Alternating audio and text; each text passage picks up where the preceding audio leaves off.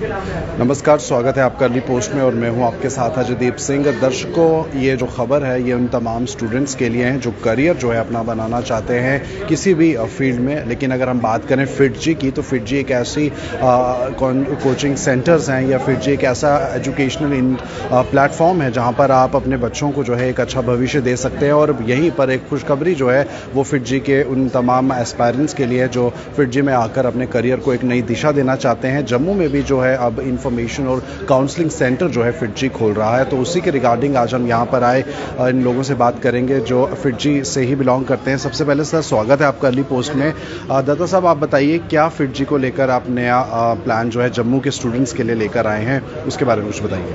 देखिए, सबसे पहला चीज़ ये है कि जम्मू कश्मीर और लद्दाख के बच्चों को सही इन्फॉर्मेशन करेक्ट इन्फॉर्मेशन करियर से जुड़ा हुआ इन्फॉर्मेशन कॉम्पिटिटिव एग्ज़ाम से जुड़ा हुआ इन्फॉर्मेशन सही तरीके से उन तक पहुँचाए।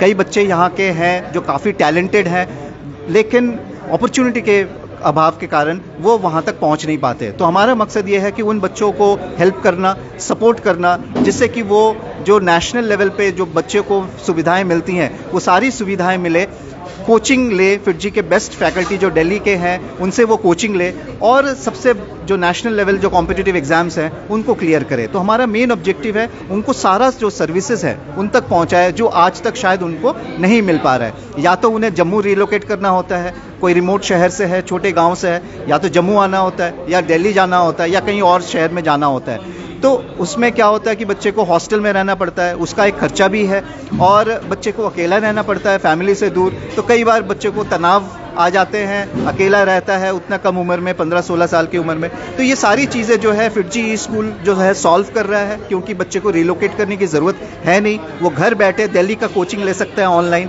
दूसरी बात जो हॉस्टल की खर्चा है, वो ज़रूरत नहीं है। अपने पेरेंट्स के साथ रह के, अपने भाई बहन के साथ रह के, फैमिली इन्वायरमेंट में रह के, घर से सेफ़ इन्वायरमेंट से, वो दिल्ली जैसा कोचिंग ले सकता है। मैं अगर कहूँ तो कोविड में बच्चों को इस चीज़ को लेकर सिखा दिया है कि कैसे आप ऑनलाइन क्लासेस के ज़रिए जो है पढ़ सकते हैं। लेकिन वहीं दूसरी तरफ़ अगर हम पेरेंट्स की बात करें तो ऑनलाइन क्लासेस को लेकर चिंता भी वो करते हैं, क्योंकि एक तो बच्चों की आइज़ पे भी इफ़ेक्ट पड़ता है। क्या आपको लगता है ये उस लेवल का स्टडी दे पाएगा जो फिजिकली बच्चों को पेयर होकर रहता है। ऑनलाइन क्लासेस क्या समझते हैं? क्या आपका सुझाव है?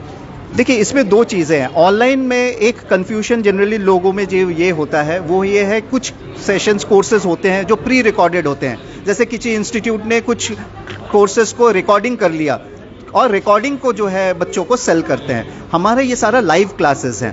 तो लाइव क्लासेस में क्या होता है? बच्चा देख भी रहा है सुन भी रहा है नोट्स भी लिख रहा है। तो उसका जो विजन है कंटिन्यूस स्क्रीन पे नहीं है। लेकिन जब आप वीडियो देख रहे हो तो आपका कंटिन्यूस जो है, आप जो है वीडियो पे देख रहे हो। तो इसमें क्या सबसे बड़ी बात यह है, इसकी जो एक्सपोजर है, वो बैलेंस्ड है। जैसे एक ऑफलाइन क्लास में वो बोर्ड को देखता है टीचर को सुनता है और नोट्स लिखता है। तो उसी तरह यहाँ पे भी होगा।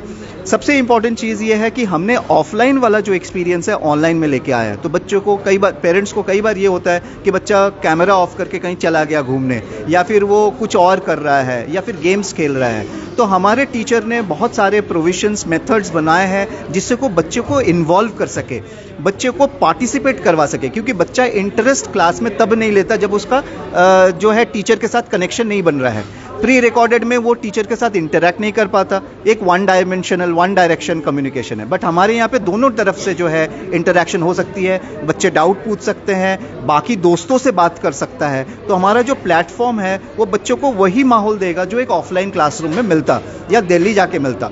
तो इसीलिए उसकी जो लर्निंग है, वो एक 360 डिग्री वाला है। बच्चा सिर्फ़ टीचर से नहीं सीखता टीचर के साथ साथ अपने दोस्तों से भी सीखता है, क्योंकि दोस्त कोई सवाल पूछा, कोई डाउट पूछा तो बच्चे को लगता है अच्छा ये ऐसा भी हो सकता है।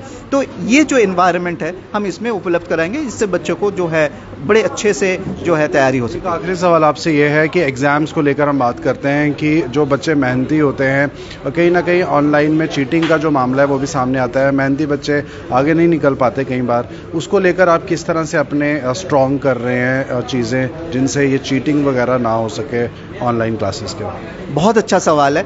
हमने 2020 जब कोरोना फ़र्स्ट टाइम आया मार्च में, जब चीज़ें बंद होने लगी तो फिटजी एकमात्र इंस्टीट्यूट था जो सबसे पहले हमारा जो ऑनलाइन क्लासेस शुरू किया ऑफलाइन वालों का भी। और अगस्त में हमने सबसे पहला एक टेस्ट कंडक्ट किया, जिसमें हमने आर्टिफिशियल इंटेलिजेंस के तहत कोशिश किया जिससे कि बच्चे चीटिंग ना कर पाए। तो फिडजी एकमात्र इंस्टीट्यूट है जो आज के तारीख में घर से टेस्ट कंडक्ट कराता है। वो भी चीट प्रूफ कि बच्चे के आई मूवमेंट, बच्चे के हैंड मूवमेंट, ये सारी चीज़ों को आर्टिफिशियल इंटेलिजेंस के थ्रू ट्रैक करता है। हमारे सिस्टम ऐसा है कि बच्चा जब टेस्ट लिख रहा है तो वो कोई और दूसरा डिवाइस अगर खोल लेगा तो मेरा सिस्टम उसको डिटेक्ट कर लेगा। Number one.